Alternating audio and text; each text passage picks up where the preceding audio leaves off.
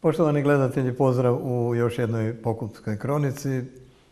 Gost emisije je akademski slikar Alfred Fredi Krupa, naš Karlovčanin,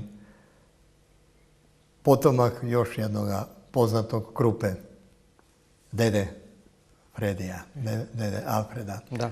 Pozdravljamo vas i evo recite nam što radite sada, s čim se bavite. Dobar dan.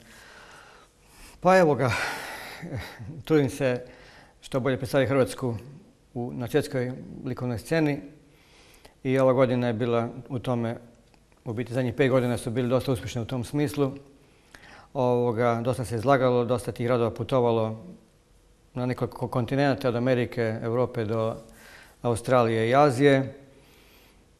Tako da, eto, tome sam e, posvećen većinu slobodnog vremena, osim onoga kad radim u školi, na grafičkom smjeru u Dugaresi, crtanje slikanje. Ovoga, kad, znači, kad nisam vezan tim školskim obavezama, trudim se znači, razvijati svoj likovni izraz, biti suremen na neki način, a opet vezan za tradiciju s kojoj sam potekao, kao što, se, kao što ste rekli. Moj deda je bio ovoga, akademski slikar i nekada vrlo slavan i, priznat i nagrađivan. Posebno akvarel.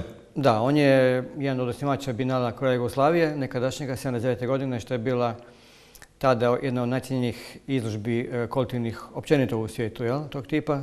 Tako da Muzej moderne umjetnosti u New ima dokumentaciju o tome, što je meni iznimno drago. Ali on je bio, evo sad kad to već govorimo, jedan izniman crtač.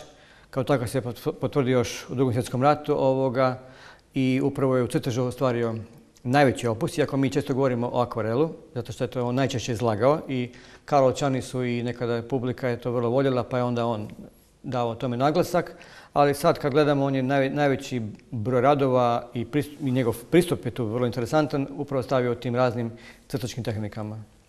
No, jedan od e, glavnih razloga što sam vas pozvao u studio je priznanje koje je došlo ni od drugog, drugog nego iz Pakistana.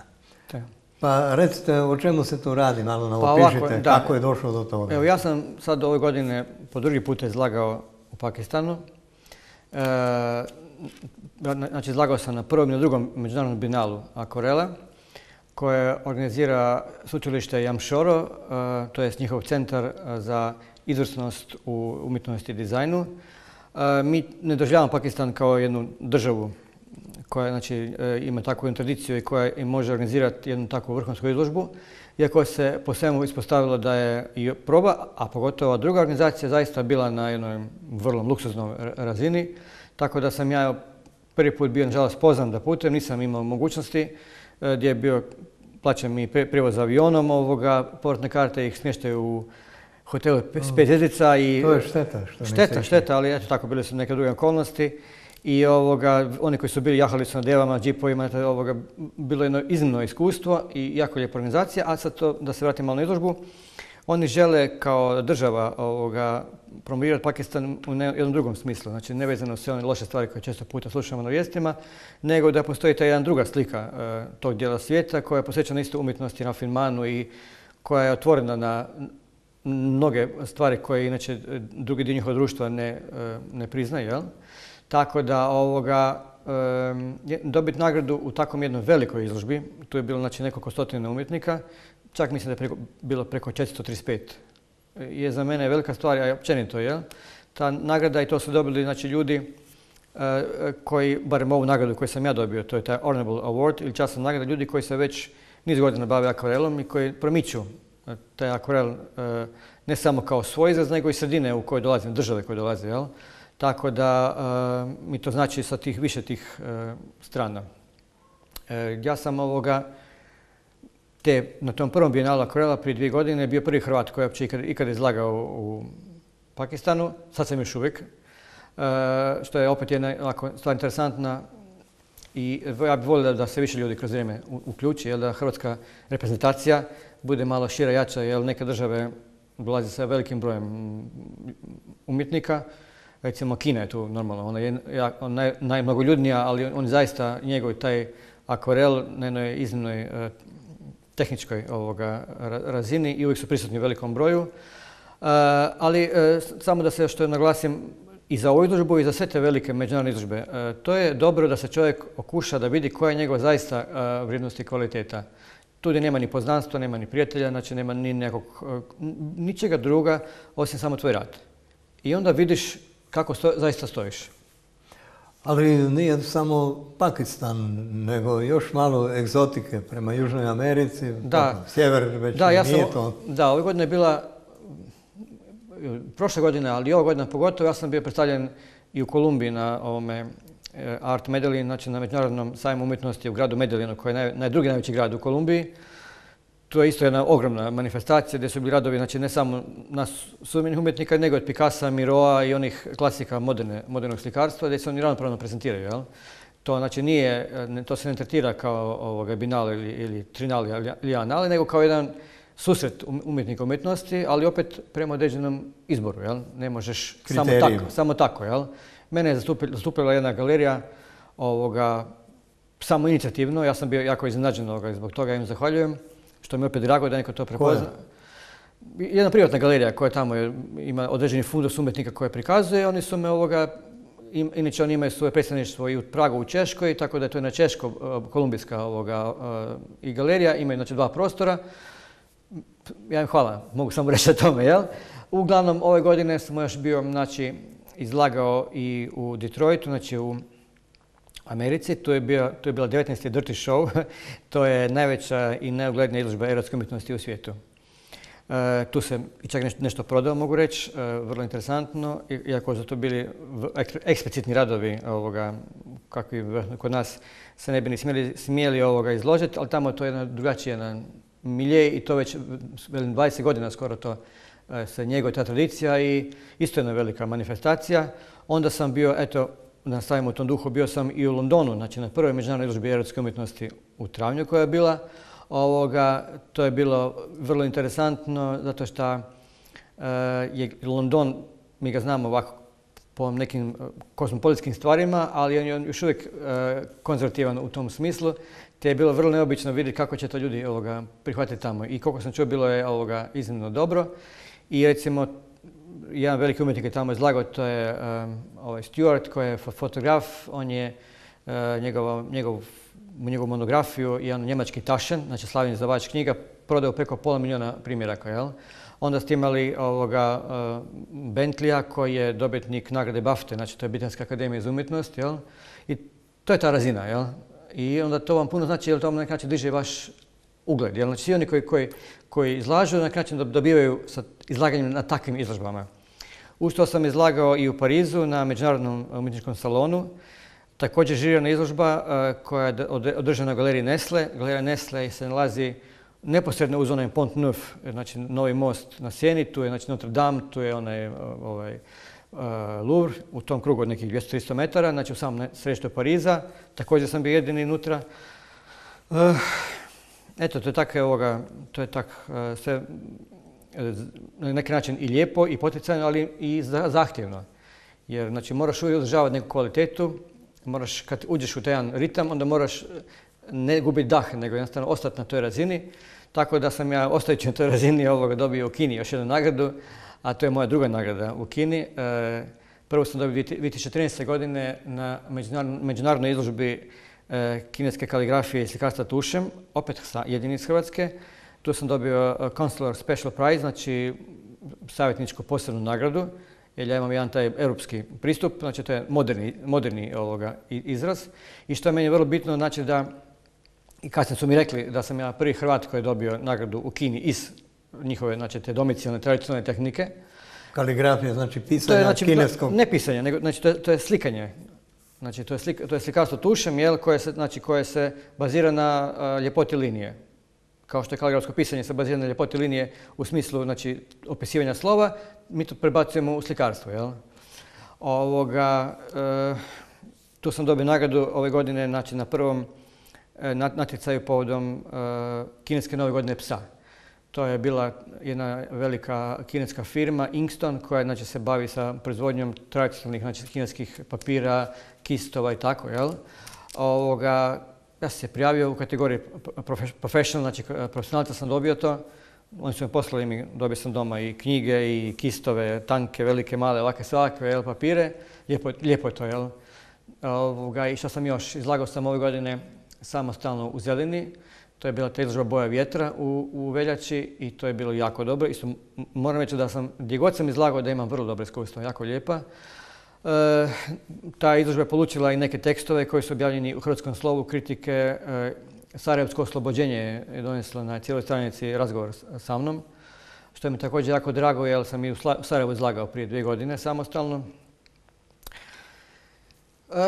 E, onda sam, evo, sad u petom mjesecu završile su dvije izložbe u Tirani Albaniji. Jedna je bila na tom umjetničkom sveučilištu, njihovom, u Tirani. Onda je bila ta izložba preseljena u još jedan manji grad. Uglavnom ja sam tamo već tri puta izlagao i dobio sam nagradu top 20, da sam u top 20 akvarelista prije dvije godine. Tamo sam u Tirani isto jako lijepo primljen. E, izlagao sam onda e, u Zagrebu. Evo sada to je znači, izložba povodom 150 godina Hrvatske društva likovnih umjetnika. E, organizira HDL Zagreb i održava se u Europskom domu. E, također jedna, fina stvar, e, onda sam izlagao e, ponovno u Zelini, ovaj put je to bilo, to što uvijek traje, izložba Vinorela, znači to je bila izložba povodom te tradicionalne, to jest i obljetničke izložbe kontinentalnih vina Hrvatske. Tu smo radili samo isključivo sa njihovim vinima i to ovak jedan eksperiment koji je po meni jako dobro uspio. To se može vidjeti na internetu, bilo je puno objavljeno. I tu je njihov recimo magazin taj koji izlazi Prigorje, u, Koloru ovoga, objavio s nama dugačke intervjue, znači prezentirao umjetnike nas šestora koliko je bilo, jel? E, tu onda sam izlagao u Karlovcu zbirka Mavertić e, portreti. E, šta još, možda sam nešto čak i zaboravio. Uglavnom sad uskoro dolazi u devetom mjesecu e, izložba u sudionika 38. Saviza, 38. Ovoga, saziva kolonija kralista Sava u Slavonskom brodu to će biti galerija Ružić, onda je tu izložba Tropical Watercolor, tropski akvarel u San Joseu, u galeriji Sofia Wanamaker u glavnom gradu Kosta e, Rike. Pa onda tu je Budimpešta u devetom mjesecu izložba mail arta, znači one umjetnosti gdje se oslikavaju koverte, jel? to je tako jedna, jedna interesantna stvar. Onda imamo u Portlandu, Oregonu u desetom mjesecu izložbu opet tog kineskog slikarstva. I eto tako, dosta toga ima, sad sam čak vjerojatno nešto i, zaboravio. E da, u 8. mjesecu imamo izložbu fotografija u maloj galeriji Cankarijevog doma u Ljubljani.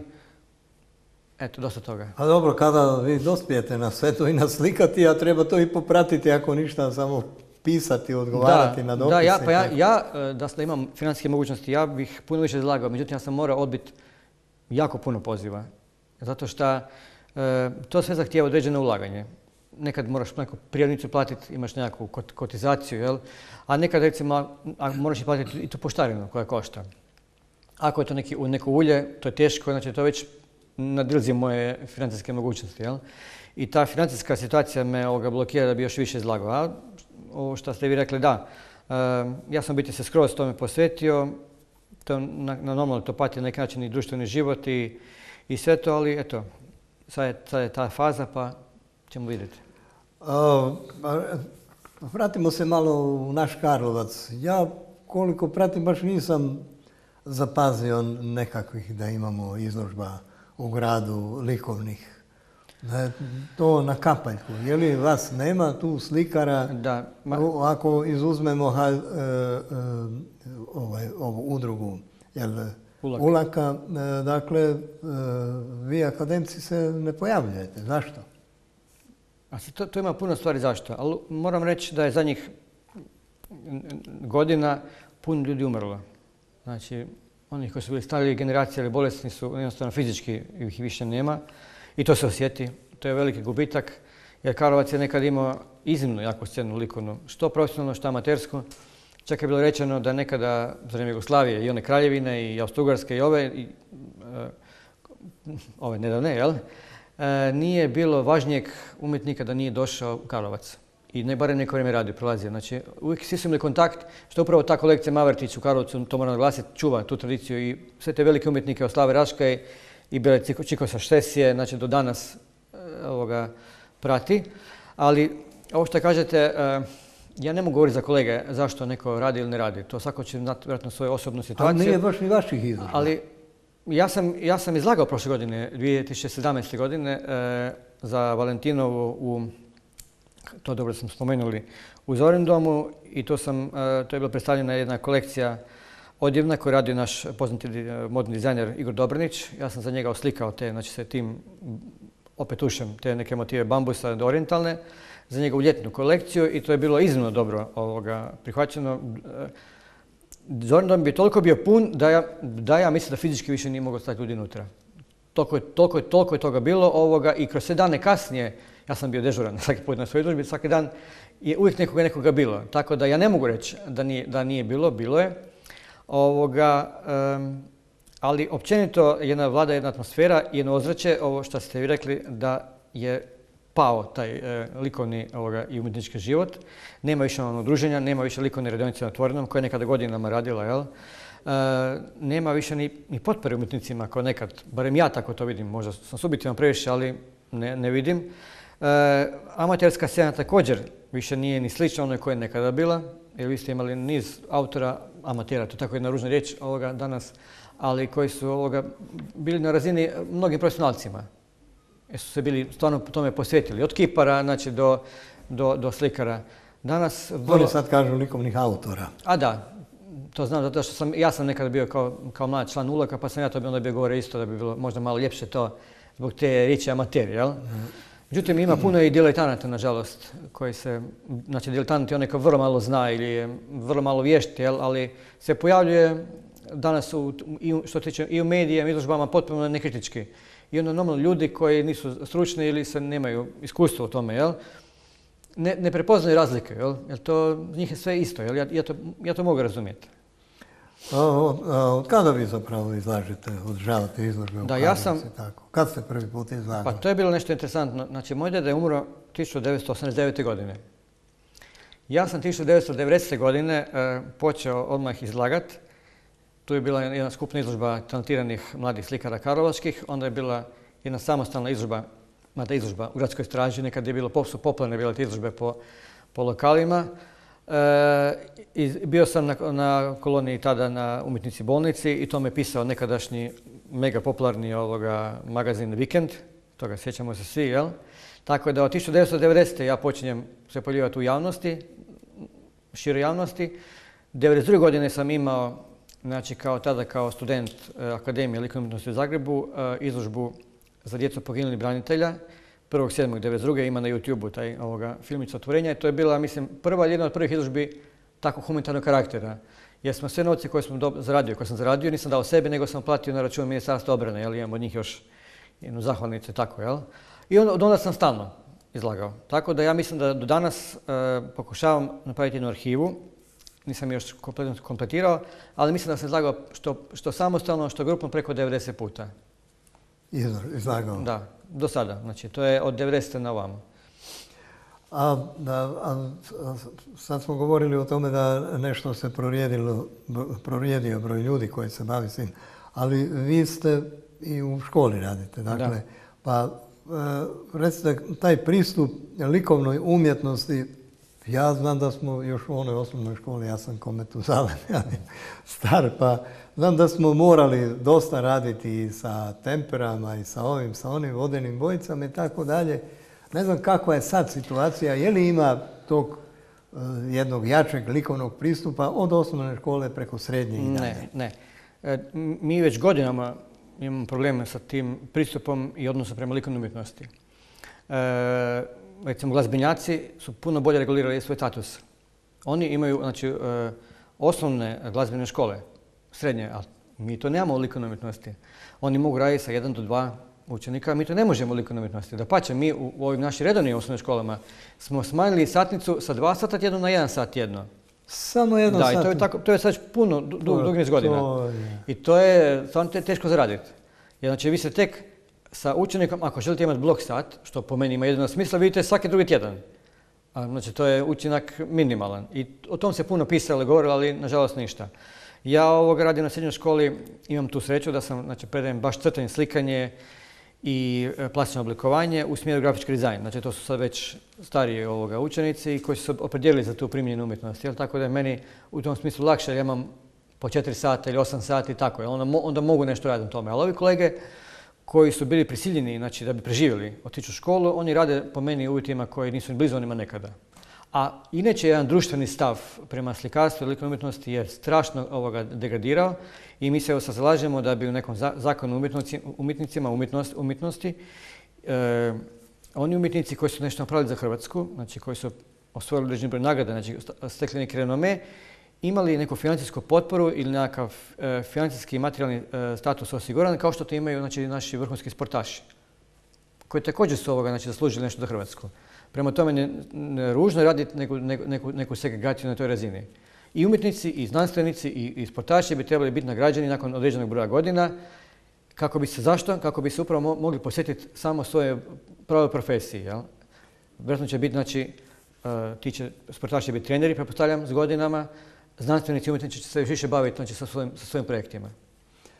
A kakav je, kako vi gledate na odnos prema umjetnicima u Karlovcu? Je li se to, evo ovo o čemu ste vi govorili, je li se to na kakav način vrednuje, je li se promovira? Ja što sam znao i govoriti i objaviti u svojim emisijama, da, ne znam, imamo jednog pjesnika Mihalića gdje se od e, gradske birokracije i županijske nisu gospoda koji su čelnici udostojila doći, ali je došlo recimo odati počast e, Mihaliću neki osam ili devet akademika, ali gradonačelnik i župan nisu za to imali vremena, jeli? nego su poslali nekakve činovnice koje su tamo njih zamjenjivali. Dakle, kakav je taj odnos i prema likovnim e, pa, stvaraocima? U, u, svakom slučaju neadekvatan. Znači, kako god to pokušali opravdati, s njihove strane taj odnos nije na razini koja je po meni niti minimalna. Evo ja osobno nemam nikakvu potporu od grada niti od države. Apsolutno nikakvu. Da pa šta god sam se obraćao, nisam našao na razumijevanje. Kad je izašla moja monografija, evo to sam 2014. godine izašla moja monografija, gdje su pisali ljudi znači, iz Japana i iz Amerike i koja se danas nalazi u najvećim muzejima ovoga, od Cosmopolitan uh, Museum of Art, Chicago Institute of Art, Središnji institut znači, za povijest umjetnosti u Minhenu, Galerija Tate u Londonu koja, koja je uzela jedan moj originalni rad. Uz to do, niz drugih tih uh, velikih velike sveučilišta i uh, Harvard, uh, Princeton, svi su, svi su to otkupili. Ja sam bio iznenađen kad sam to vidio. Vjerojatno putem promoviranja, putem tih sajmova knjiga, međunarodnih i tako dalje. Znači, neko je nešto vidio o tome kada je to otkupio. Grad Karlovac je dao nula kuna za to. Ja? Za Da. Eto i ove godine, nažalost, to je drugo godina redom, mislim, na svoju ruku i na svoju inicijativu su predlagali moje ovoga za nagradu grada Karlovca, odbijeno. Ali zato su izdali monografiju jednog gdje, onako nekakvi amateri su fotografije snimili i onda su ta monografija ne, može biti jeftina. Ja ne bih kritizirati niti govoriti šta se dešava, jel? ja samo mogu sa svoje subjetivne osobne, osobne strane, jel? a ta je da potpore nema. Pa dobro, s kakvim se sada onda susrećete problemom u svojem upravo, radu? Upravo zbog te znači, potpunog izostanka znači, materijalne potpore, bez materijalne potpore ne možete ovoga raditi, to je jasno, nego samo onim svojim malim okvirima koliko vam dopušta ono što vam ostane od plaće. Teško je, nemam ni atelije, nemam ni stan ovoga, tako da su mi uvjeti što se toga tiče, znači u potpunom kontrastu s onim što sam, što radim znači u, rezultatima tog mog rada. Znači minimalni su uvjeti, minimalistički.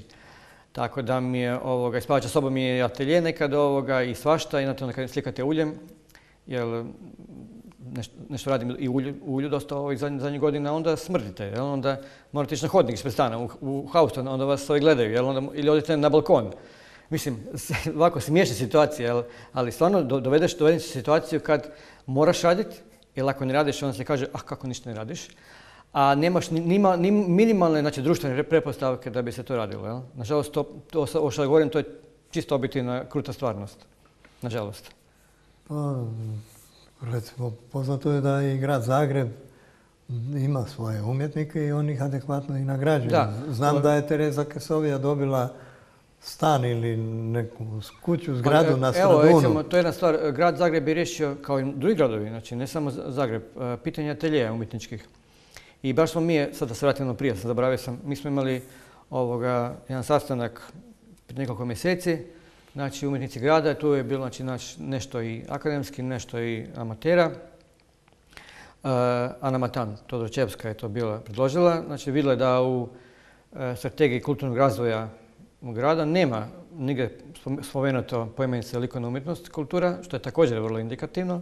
Ovoga, I mi smo se našli tu i ovako u jednoj žusto- žu- žustoj di- diskusiji smo proanalizirali te probleme i jedan od problema je upravo taj manjak prostora adekvatnih. Recimo kao u Zagrebu, tamo na Žitnjaku su dodijelili ovoga, a, prostore umjetnicima. E, I ne samo to, znači unutar grada već od prije postoje cijeli niz ateljeja koji ljudi, ovoga, a, Ali umjetnici- oprostite. Umjetnici od grada, po, Ali po, u Karlovcu ja bi sad nabrojio barem deset prostora u kojima se jedino štrču vrapci, miševi i štakori. E sad, to je stvar da grad to regulira. Znači, mi možemo samo postaviti naš zahtjev i reći im kako stoje stvari. E, to hoću reći. Mi smo to poslali, nažalost nije naišlo na odobrenje. Je, istina Bog, do- dobili smo jedan tekst koji je napisan jako dugo, jako široko, ali biti nije odgovorio pozitivno na nijedan od naš zahtjeva.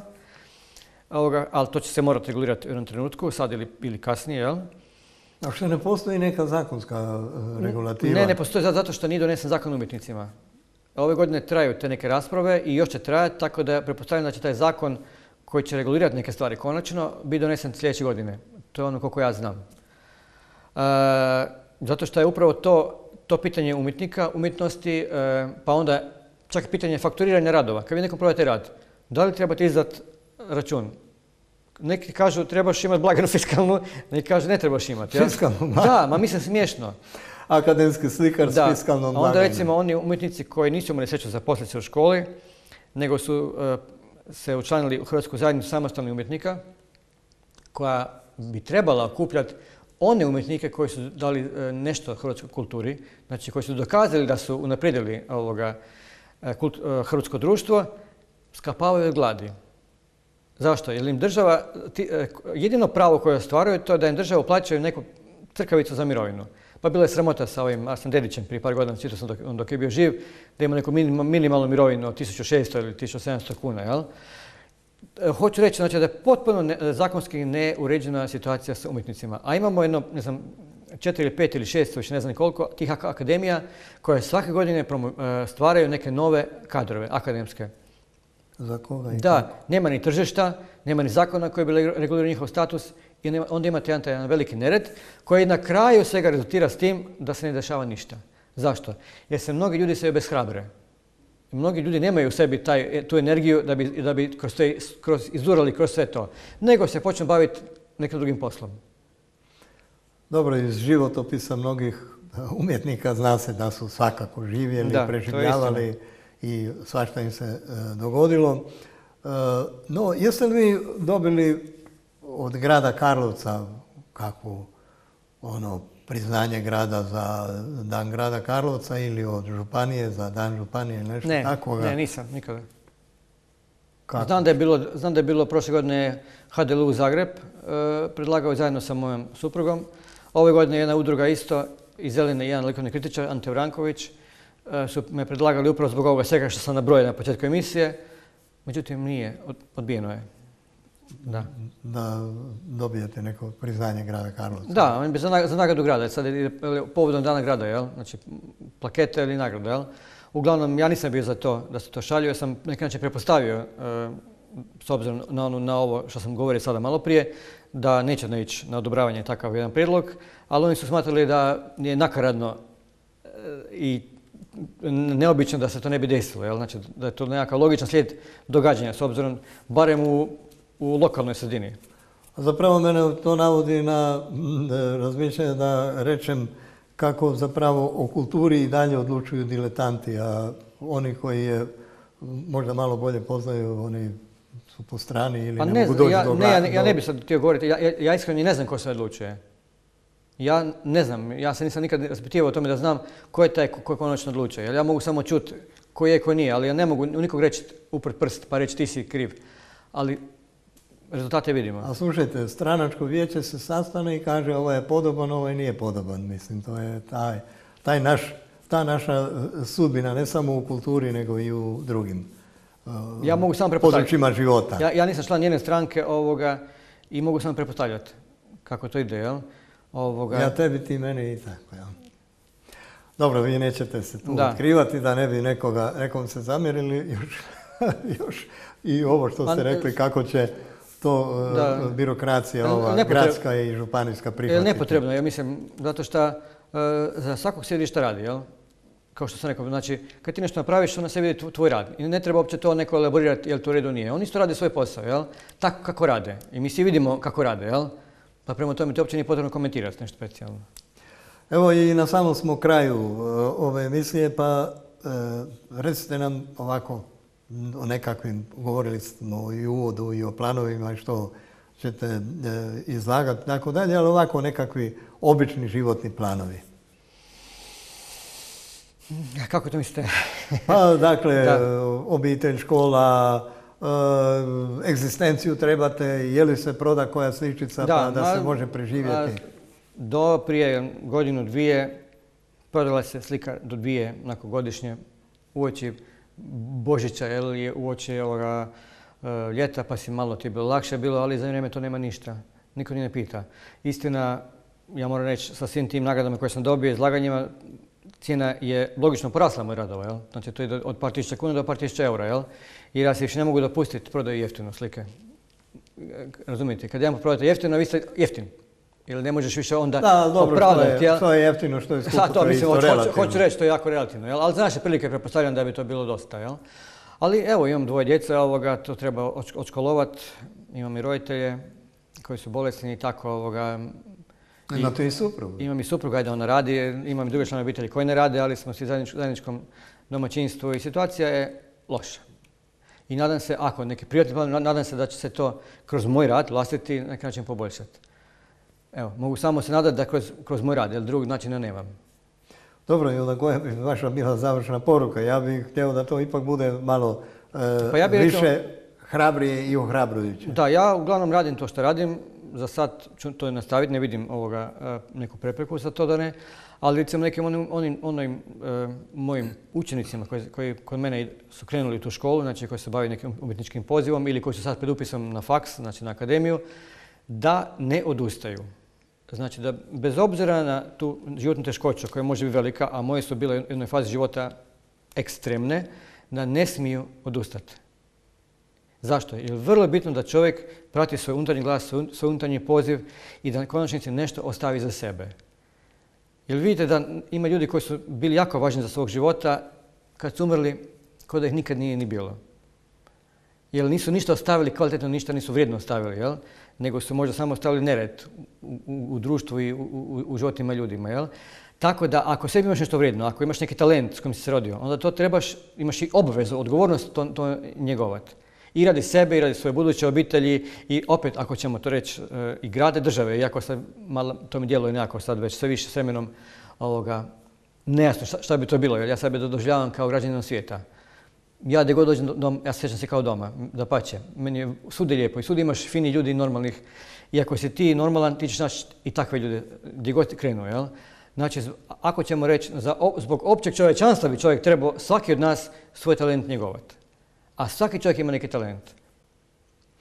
Evo, poštovani gledatelji, bi bilo sve u ovoj emisiji. E, zahvaljujemo na sudjelovanju akademskom slikaru Alfredu Prediju Krupi mlađem, jel? Da. I želimo vam da uspijete u vašim naumima i u vašim željama. Hvala na dolasku u emisiju. Hvala vama.